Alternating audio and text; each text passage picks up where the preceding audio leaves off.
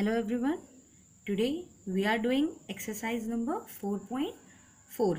आज हम लोग exercise 4.4 करेंगे and the first question is find the SCF of the following by prime factorization method.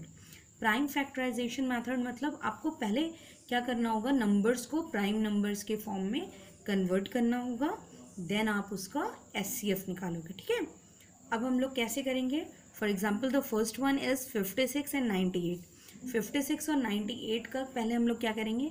LCM लेंगे। LCM लेना मतलब कि उनको, उनके प्राइम फैक्टर्स के फॉर्म में, छोटे से छोटे फॉर्म में कन्वर्ट करेंगे और उसके बाद हम लोग उसका एस सी एफ़ बताऊँगी मैं कैसे निकालोगे आप।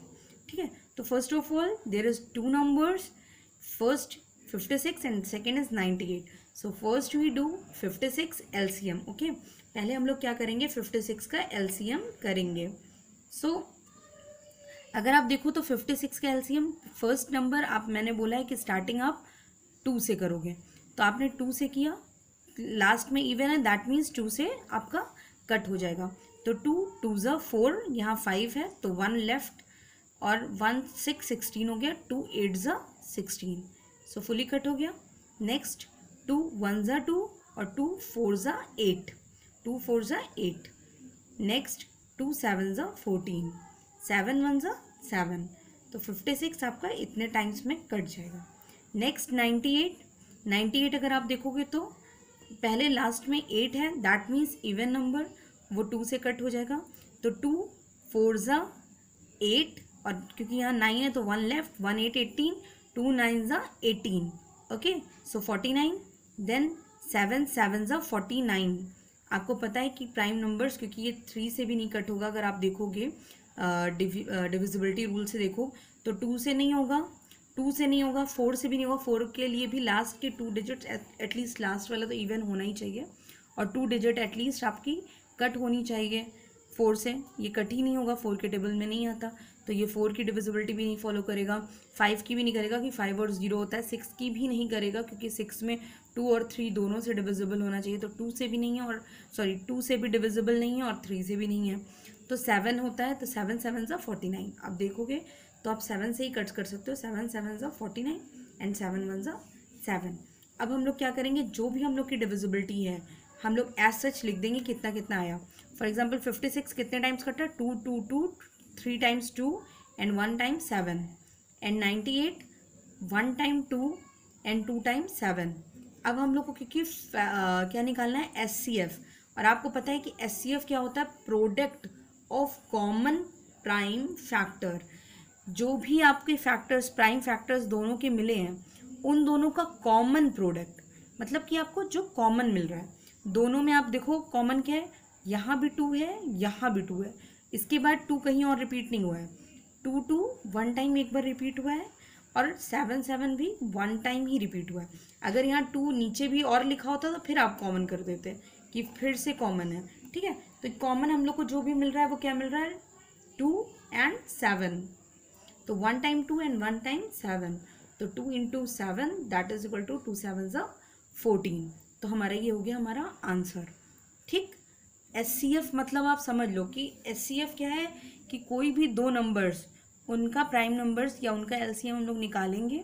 उसके बाद हम लोग देखेंगे कि उन दोनों नंबर्स उन दोनों डिजिट के जो नंबर्स आए हुए हैं, वो उसमें कौन कौन से डिजिट कॉमन है?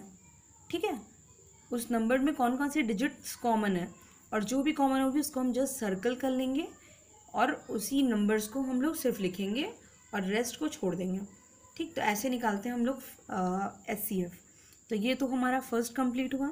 Next moving forward on second second is sixty and two twenty five same process we we just do the same process that is first we just take the L C M L C M लेंगे sixty का और two twenty five का। तो two three ज़ा six and zero common carry हो जाएगा। Two two ज़ा four sorry two one ज़ा टू एंड थ्री है तो one left one zero ten two five ज़ा टेन थ्री फाइव ज़ा फिफ्टीन फाइव वन ज़ा फाइव नेक्स्ट थ्री आप देखोगे तो थ्री से कट होगा. थ्री सेवन ज़ा ट्वेंटी वन एंड आप देखो ट्वेंटी टू है तो वन यहाँ लेफ़्ट हुआ. वन फाइव फिफ्टीन वन और फाइव मिला के हो जाएगा फिफ्टीन तो थ्री फाइव ज़ा फिफ्टीन नेक्स्ट थ्री टू ज़ा six one left fifteen three five ज़ा फिफ्टीन फाइव फाइव ज़ा twenty five and five one ज़ा फाइव तो यहाँ भी आपने क्यों फाइव कहा? पहली चीज़ यहाँ टू से नहीं होगा। थ्री का करके देख रहे हैं थ्री से डिवाइड हो जा रहा है। और यहाँ ट्वेंटी फाइव इसलिए क्योंकि लास्ट में अगर फाइव है तो ये टू से नहीं हो रहा है थ्री से भी नहीं है होगा। और फोर से की डिविजिबिलिटी भी नहीं फॉलो करेगा तो फाइव की ही करेगा क्योंकि लास्ट में फाइव और ज़ीरो है तो फाइव और ज़ीरो वाला फाइव से डिवाइड होता ही होता है। तो ये हो गया आपका नेक्स्ट हम लोग ने क्या किया? इन लोग के जो भी कट करके जो प्राइम नंबर्स आए हैं, उनको सिक्सटी के प्राइम नंबर्स को ऐसे लिख दिया एंड टू ट्वेंटी फाइव के प्राइम नंबर्स को उसके नीचे लिखा। उसके बाद हमने देखा कौन कौन से डिजिट्स कॉमन है। तो आप देखो कि टू है ही नहीं नीचे ट्वेंटी टू ट्वेंटी फाइव में कोई भी टू नहीं है और थ्री सिर्फ़ वन टाइम्स है, दोनों में common and five one times है। तो फाइव थ्री अगर हम लोग देखेंगे तो उनका क्या है? Product of common prime factors है।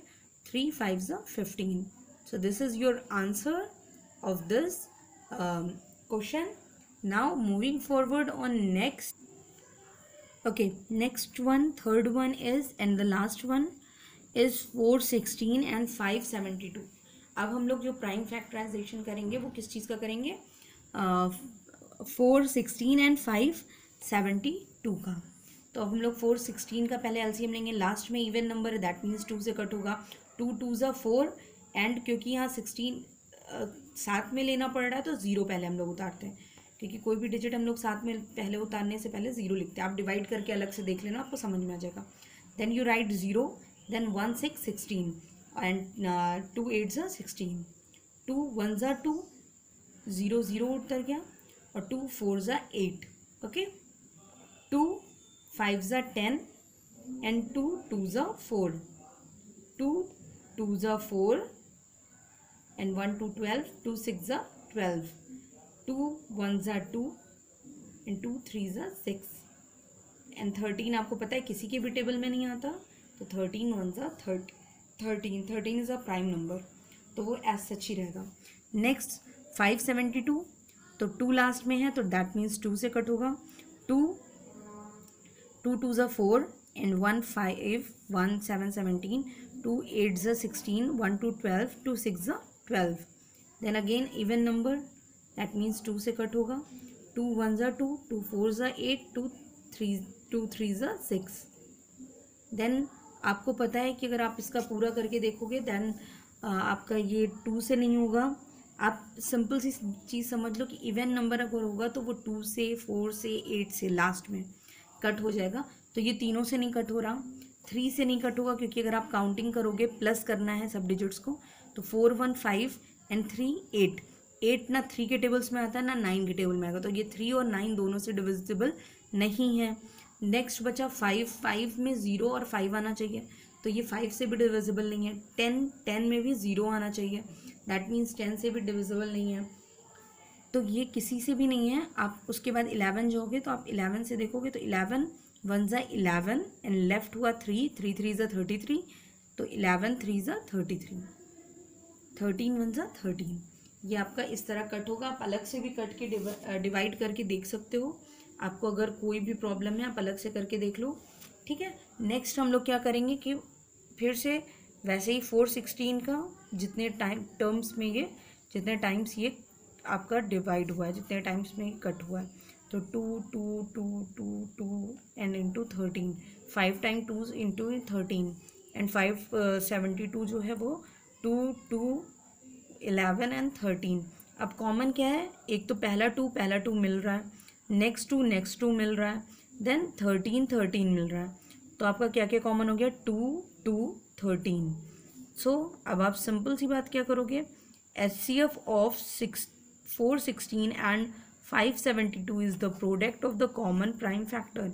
तो इन दोनों के प्रोडक्ट ऑफ़ कॉमन फैक्ट, इन दोनों का कॉमन प्राइम फैक्टर्स ये है, ठीक है? तो आप लिख सकते हो two two into two into thirteen दो बार टू टू है एंड देन थर्टीन है। तो two into two into thirteen इसको हम लोग एक्सपोनेंशियल फॉर्म या पावर के फॉर्म में भी लिख सकते हैं। तो टू कितने टाइम्स लिखा जा रहा है? Two times that means two की पावर टू इंटू थर्टीन और टू टू ज़ा क्या होता है? टू टू ज़ा four four into thirteen that is equal to अगर आप इंटू करोगे तो fifty two that is your answer so this one this three three of this exercise you just do in the work there are I think nine question in this and we just solve it in upcoming days and thank you students